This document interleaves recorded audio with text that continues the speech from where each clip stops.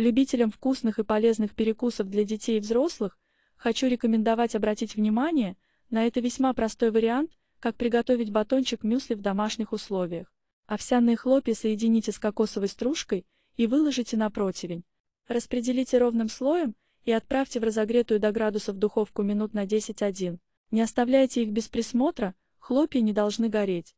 Помешивайте каждые 2-3 минуты.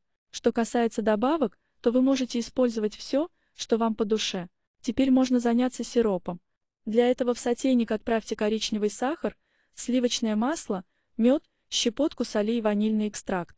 На медленном огне растопите все, чтобы сироп был однородным. В глубокой мисочке соедините хлопья с кокосовой стружкой и орешки с сухофруктами. Влейте сладкий сироп и все как следует перемешайте. Подготовьте противень, застелите его фольгой. Промажьте немного маслом, выложите смесь, плотно прижимая и равняя руками. Если вы используете шоколадные дропсы, то распределите их сверху. Далее возьмите пергамент и накройте им смесь. Сверху установите пресс и оставьте все как минимум на 3 часа. За это время сироп полностью остынет и пропитает хлопья.